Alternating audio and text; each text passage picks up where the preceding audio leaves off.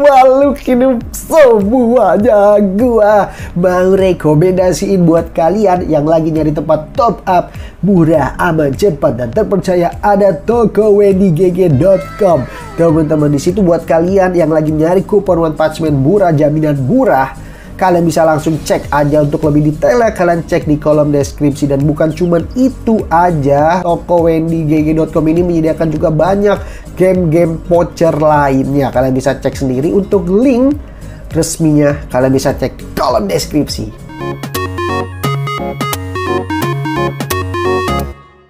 Assalamualaikum. Malam makhluk hidup.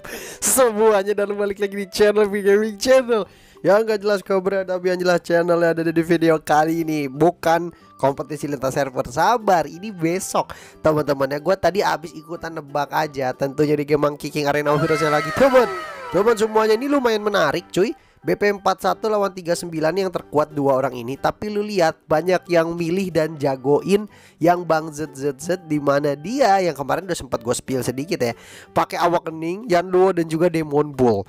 Teman-teman besok kita akan coba lihat teman-teman ya Besok ini kompetisi lintas server, server besok. Karena hari ini ada event jelajah Kemarin tadi tuh ada pengumumannya tuh. Zona Barat telah hadir teman-teman. Jadi hari ini gue akan coba untuk dapetin apa talenta baru. Teman-teman yang di mana talenta baru ini para sultan sih udah pada pakai ini rambut gua kenapa nih pada pada pakai ya pada pakai talent ini. Jadi harusnya nih talent bagus banget. Teman-teman ya harusnya ini talent bagus banget. Jadi kita akan coba langsung saja. Eh bentar nih gue baru banget login guys. Bentar guys ya. Bentar guys ya. Bentar bentar bentar bentar. Kita top uh, gacain dulu ini sekalian daily cok. Ini sumpah nih udah kayak kagak peduli lu gue gacha gini cok. Mau merahnya siapa? Kagak peduli gue mau oranye siapa? Udah udah udah kagak ada yang dibutuhin guys. Kayak yang penting mah daily aja gacha sehari 20 kali cukup.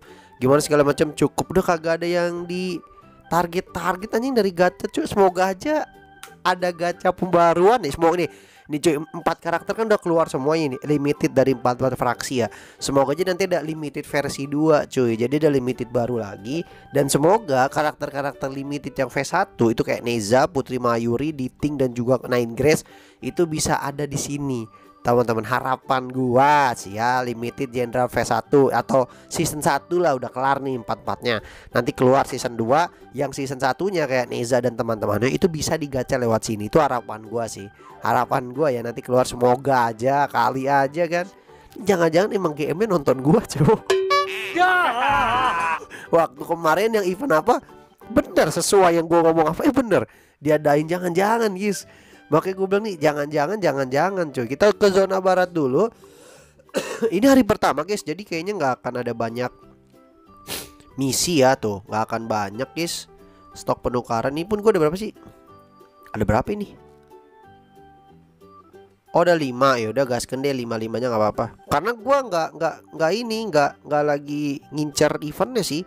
Gue pengen ngambil itunya dulu. Eh ke mana ini? Eh ke mana sih bro Pusing pala gue Lah lah macet ke mana sih jalannya? Ke atas. Ah kocak bet dah. Ke mana dah?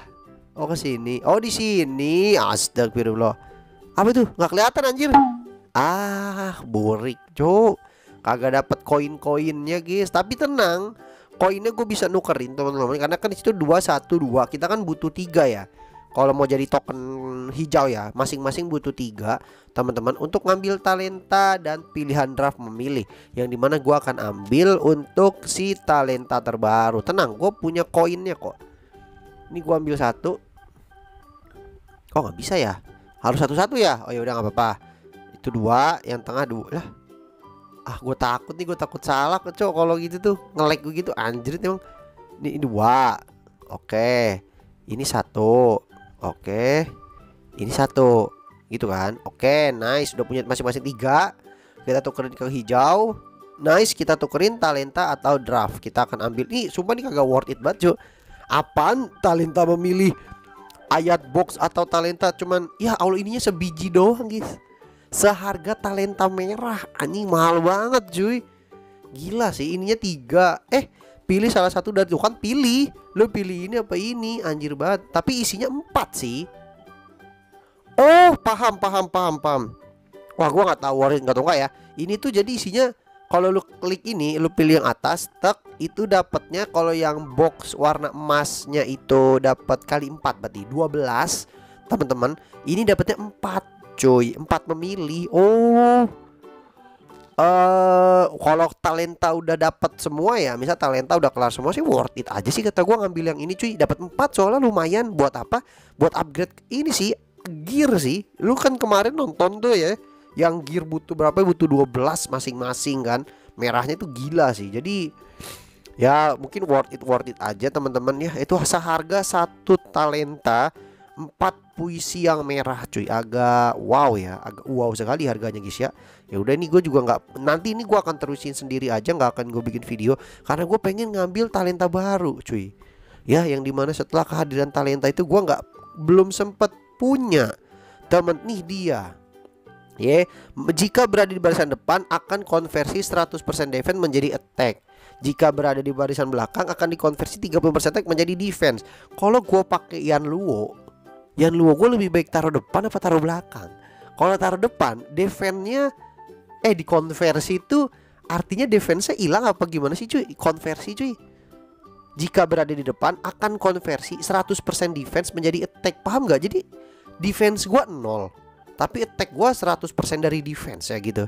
Kalau ini mah cocok buat Neza cok kalau kayak buat kayak Yan Luo yang bisa mati maksudnya ya apa ya worth it guys? Kecuali kalau taruh belakang tuh. Taruh belakang dia makin tanker cuy karena attacknya 35% dikonversi menjadi defense jadi semakin tanker walaupun cuma 30% cuman kalau yang ditaruh depan nih misal si kalau Neza sih oke okay lah Neza tuh kan bisa bisa hidup lagi hidup lagi hidup lagi tuh nggak apa-apa gitu defense nol pun asal damage-nya menggila pun menurut gua nggak masalah sih ini kalau ditaruh ke Yan Luo, kalau ditaruh Skeleton, oh Skeleton masih oke okay sih. Skeleton nggak bisa dipilih ya. Kalau kalau di Awakening 3 ya itu masih oke okay sih.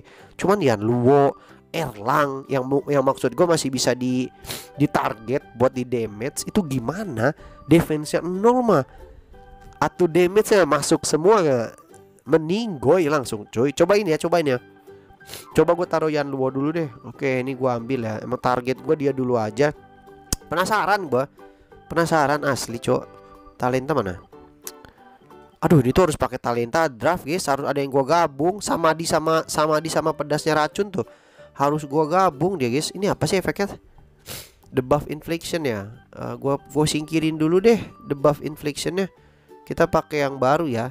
Oke, kita pakai yang baru nanti nanti paling gua cari draft kombinnya lagi nih buat sama di sama pedasnya racun nih buat dikombinasi baru kosong satu slot lagi baru masukin talenta apa lagi temen ini banyak kan talenta oren nih di Anuogo guys Dodge lah masih main Dodge ini DOT emang oke okay lah DOT wajib teman-teman. Damage poison bukan DOT damage poison. Itu lebih ngeri banget sih.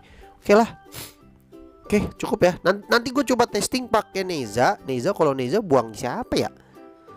Kalau gue pakai ke Neza yang dibuang apa ya? Ini udah full juga cuy. Wukong kah? Wukong normal attack dan combo. Bagus banget soalnya kalau main combo ini guys. Like aura, aduh jangan nih kalau jadi perempuan uh, aduh pusing cuk. Kalau di Kafkeneza yang dibuang talenta apa ya? Sharp Eye itu apa sih? Yang imun ya, imun kontrol ya. Boleh deh nanti nanti kita testing ya. Coba kita testing di arena dulu.